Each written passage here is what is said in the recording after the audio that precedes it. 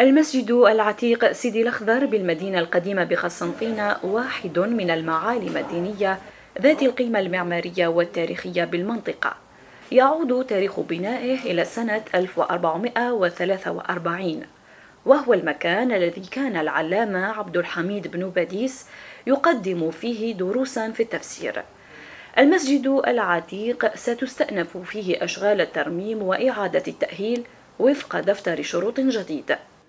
صفته آه، تراث مصنف آه، تراث وطني.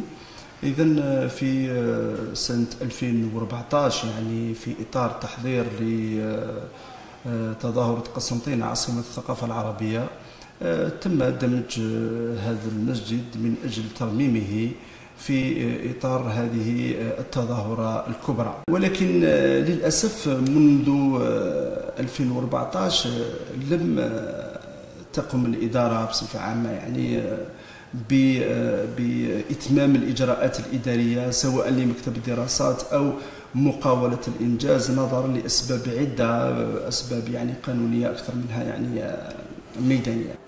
انطلاق أشغال ترميم المسجد العتيق سيدي الأخضر سيتم بعد تعيين مؤسسة مؤهلة تتوفر على كل الإمكانيات المادية وتراعي شروط الصيانة والترميم المطلوبة هذا الأسبوع مكتب الدراسات جاب لنا دفتر شروط جديد لاختيار مقاولة وكنا يعني ركزنا على معايير اختيار المقاولة باش تكون عندها إمكانيات سواء مالية أو مادية وخبرة يعني في هذا المجال.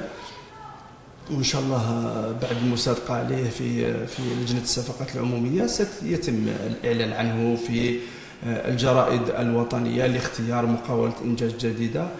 ترميم المسجد العتيق سيدي الأخضر بقسنطينة يأتي في إطار مشروع وطني لترميم جميع المساجد العتيقة في الجزائر مع إشراك مختلف المهنيين والحرفيين والخبرات الجزائرية في عمليات ترميم